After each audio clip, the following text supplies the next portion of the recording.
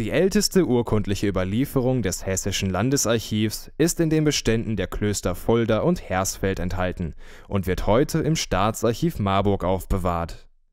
Die älteste Urkunde ist im Juni 760 ausgestellt und stammt aus dem Kloster Fulda.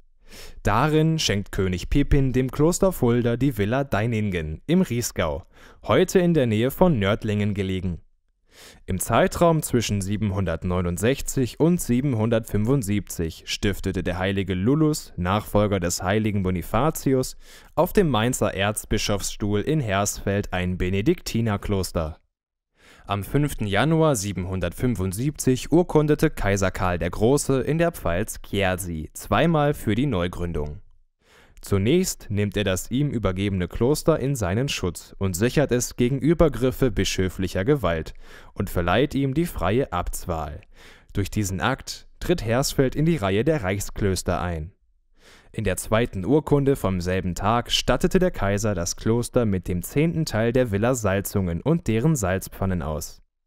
Diese Urkunde gehört zu den am besten erhaltenen frühen Privilegien für Kloster Hersfeld, das Siegel ist abgefallen und nicht mehr erhalten. Das Monogramm Karls des Großen wird gestaltet aus Namensbuchstaben des Ausstellers, die von links im Uhrzeigersinn angeordnet als K, R, L, S zu sehen sind.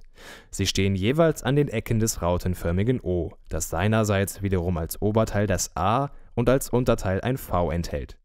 Damit ist es als Carolus zu lesen